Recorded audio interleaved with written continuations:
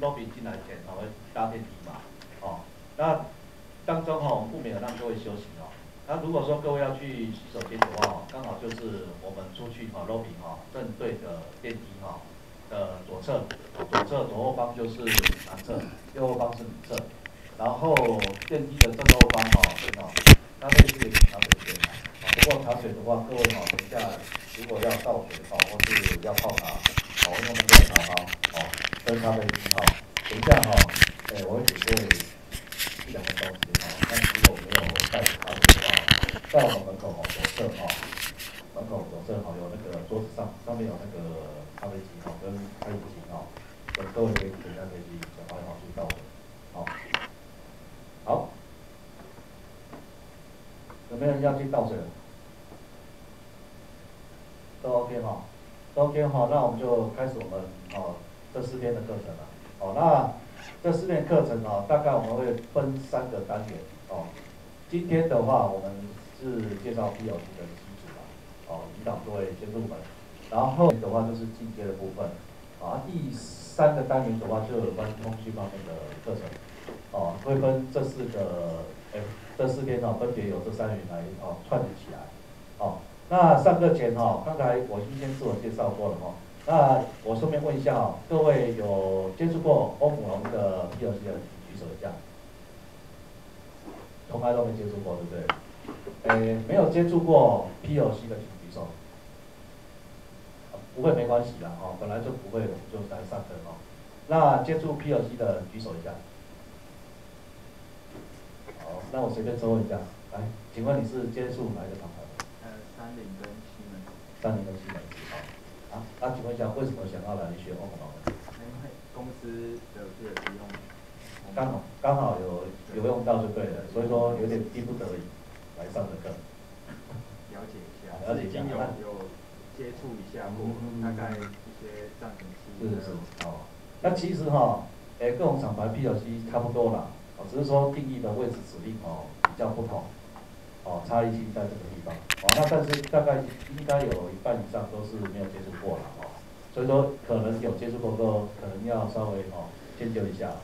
哦，因为有人可能会程度都不一嘛，那有人没学习过就可能哦进度不会那么快，哦，好，哦，那我们就开始我们今天的课程，哈，好，首先哈，诶，我们来哈，这边哈还是先说明一下哈。诶，防疫的措施有稍微放宽了哦，那还是请各位哦，在座学员哦，可能就戴一下口罩哦，唯独我是不用哦，我拿了这个这个它光学的哈，这有关这上课的部分，讲师暂时不需要，但是呃座位上去做超波视频的话，我可能要戴口罩，哦，先说明一下哦，包括我等下出去我也是要戴口罩，只是说我讲课的时候我可能不用戴，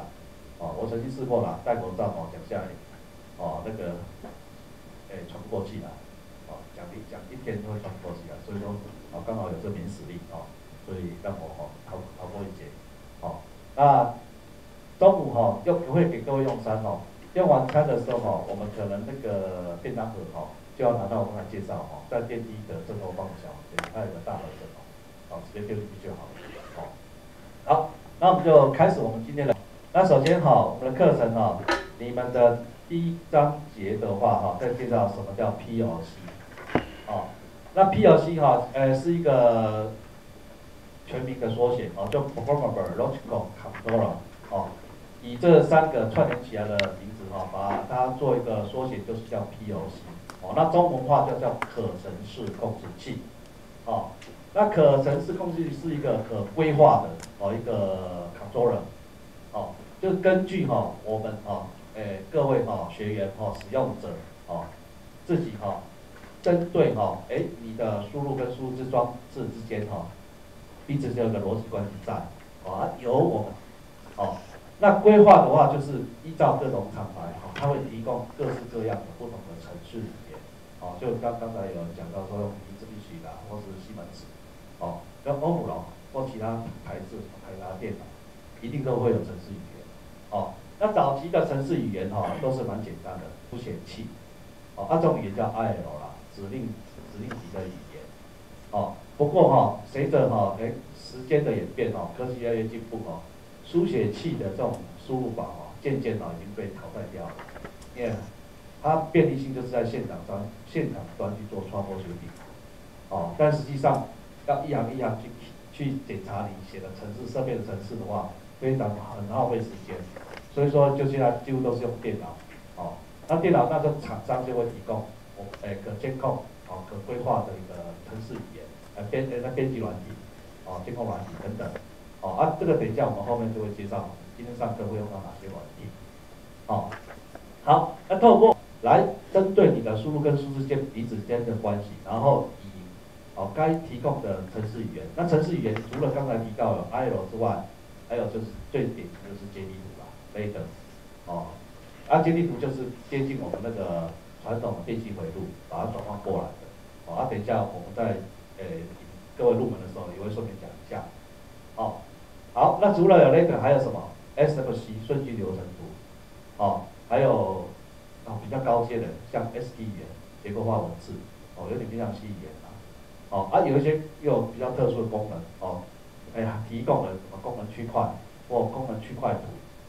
哦，啊，但是不是所有厂牌都有啦，可能它只有诶一两种在里面，其他就是依照哦该厂牌开发的哦才会提供，当然语言提供越多，这个成本就越高了，哦，好，那我们今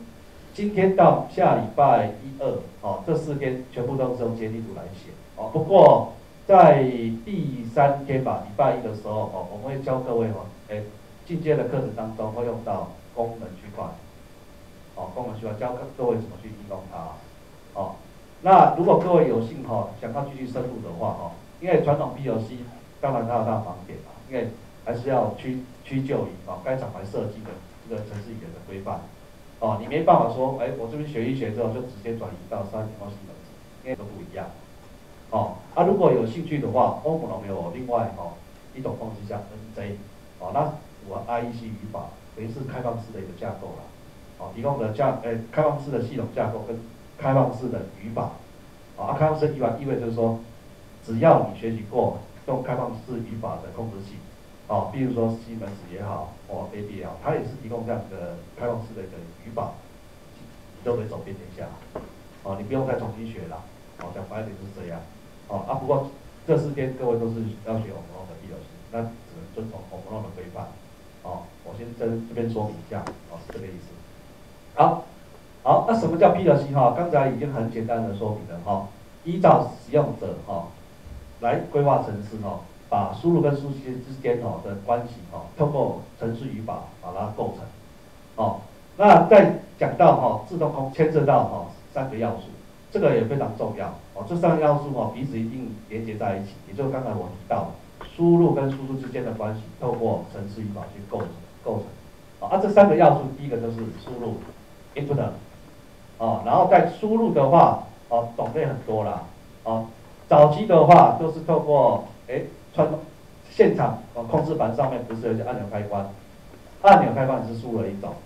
对不对？啊，有什么启动啊、停止啊、急停开关啊等等，啊，这是属于输入的，这是在控制盘上，啊啊，但是你的设备端一定还是会有一些输入信号，啊，设备端的话就种类更多了，哦，比比如说有什么，有线动开关、微动开关，啊这一类的话都是接触式，跟我们控制板上按按钮一样。一个是透过手动，一个是透过哎设备的移动去 touch 到，哦，是动作一样，但是动作方式是不一样，哦，然后再来还有非接触式的，现场端可能用了很多感测器，哦，比如说一个输送带，哦上面是产线嘛，有很多站，那当然就要去判断，哎你的这个制作的这个加工或工件有没有，哦到了某一站是不是要侦测到？所以说上面就会安装很多光电开关，